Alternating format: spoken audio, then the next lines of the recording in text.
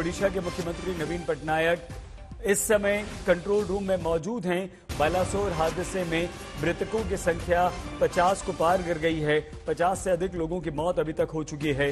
High level meeting control room से ही ओडिशा के मुख्यमंत्री नवीन पटनायक की चल रही है।